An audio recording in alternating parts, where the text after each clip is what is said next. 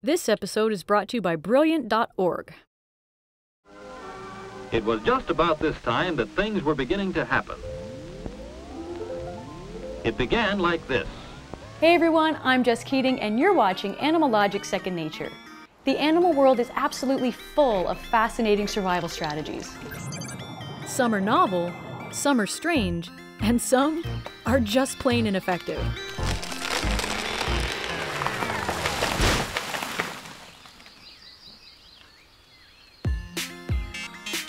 Yet for the ultimate strategy, these animals had to look within, to their vomit.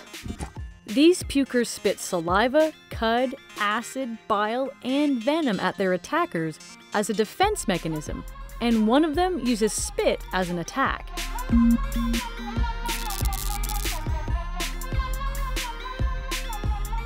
Hands down, the most badass spitters out there are these spitting cobras.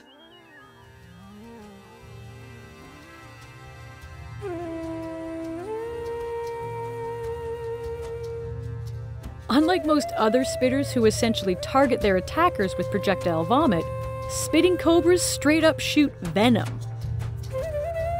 There are 18 spitting cobra species in the Naja genus, as well as a false spitting cobra called the rinkhal, and they're all found in Asia and Africa. These snakes spit venom as a defense mechanism when they're cornered. In front of their fangs, they have two little holes from which they shoot their venom, targeting their attacker's weakest point. When they spit, they jerk their heads forward, aiming their shot towards the predator's eyes. In a study evaluating what happened to the eyes of nine patients spat at by a black neck spitting cobra, two of the patients were permanently blinded, while the others suffered more temporary issues like inflammation. Their venom is cytotoxic, which means it destroys the cells that it touches. Spitting cobras in general can spit accurately from up to 2 meters away, but the Mozambique spitting cobra is the most accurate and can hit targets with 100% accuracy from up to 3 meters away. The effects of this venomous spit can be devastating to attackers, yet just looking at these guys, you know they're going to be bad news. But on the other hand, perhaps the most deadly incognito spitter is the northern fulmar. The sight of birds soaring through the firmament is a marvel to behold and suggests that joy may be realized merely through observing the natural that is forever present. These seabirds are from the petrel family, and they projectile vomit onto predators to make them lose their waterproof coating. But it's a lot more sinister than it sounds. Living on the coasts, their predators are usually other, larger seabirds. These predatory seabirds need to have waterproof wings in order to fly. Northern fulmars have developed the ability to vomit up stomach oils, which can destroy the waterproofing on these attacking seabirds. The oil has a similar effect to birds coming in contact with petroleum spills. The stomach oils will gunk up their feathers, sticking them together. Even after the seabirds preen and bathe in clean water, they're not able to get their feathers dry. They become waterlogged, exhausted trying to stay afloat, and ultimately, they drown. Northern fulmars can accurately hit targets up to 2 meters away. Both adults and chicks can spit oil, but amazingly, even unhatched babies can spit oil through a small hole in the egg. This is a very special kind of egg. It's a nest egg. European roller chicks also employ vomit as a defense, though not nearly as mercilessly. If a predator draws near, they spew super stinky orange vomit. They don't target the predators though, and the vomit is meant to make the nest smell horrible, causing the predator to lose its appetite. What's particularly interesting though is that the chicks don't produce the chemicals that make their vomit so stinky. They get that from grasshoppers. As green as the leaves he's found on, with the six jointed legs all insects have. Grasshoppers get hydroxycinnamic and hydroxybenzoic acids from the plants that they eat. This is supposed to make them taste bad, but the European rollers really don't care.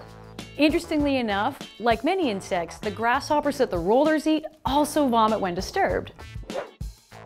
When the rollers eat the grasshoppers, they get those same acids in their stomachs. These produce horrific smells that are highly effective at deterring predators. Turkey vultures also employ a similar strategy. The turkey vulture is a scavenger, feeding mainly on decaying flesh. It is often seen circling high in the sky above a carcass. Their stomach acid is a hundred times more acidic than our own, and in fact is even more acidic than car battery acid. You really don't want to be on the receiving end of turkey vulture vomit. There is some speculation as to the reason why turkey vultures throw up when threatened. It's possible that they're doing it in defense, but it's equally likely that they are simply making themselves lighter so that they can make a speedy getaway. Spitting is not only used in defense, but also to show dominance. Camels and llamas use spit as a core component in their pecking order, which for camelids should really be called spitting order.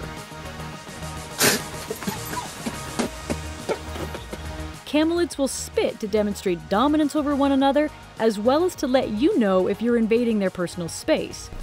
They will also spit at one another when they're fighting, and like many other spitters, they spit when threatened.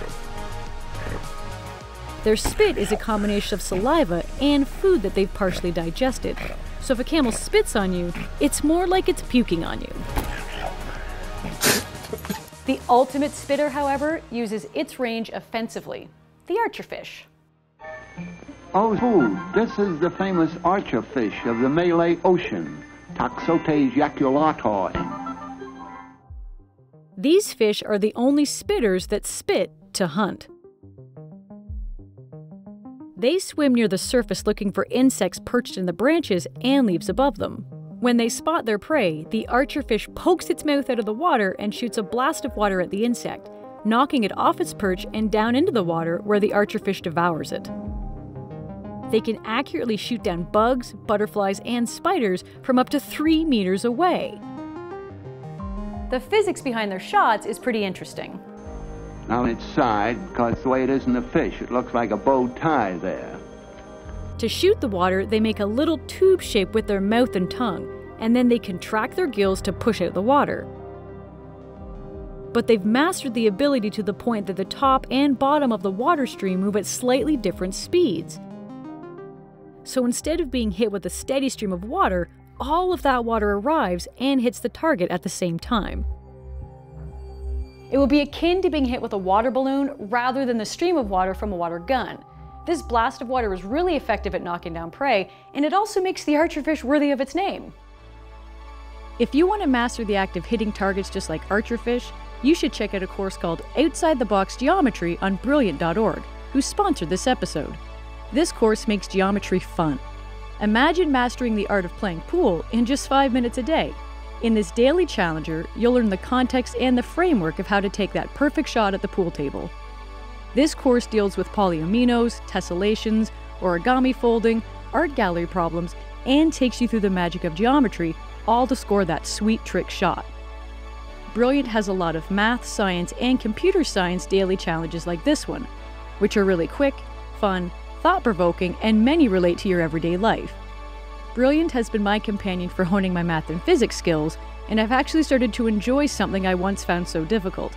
They explain theories in an interactive way, and because I love challenging myself, I take on their daily challengers to master new skills every day. If you want to support Animalogic and learn more about Brilliant, go to brilliant.org slash animalogic and sign up for free. The first 200 people that go to this link will get 20% off their annual premium subscription. So what should we talk about next? Be sure to let us know in the comments down below, and don't forget to subscribe for new episodes of Animalogic Second Nature every other week. Thanks so much for watching.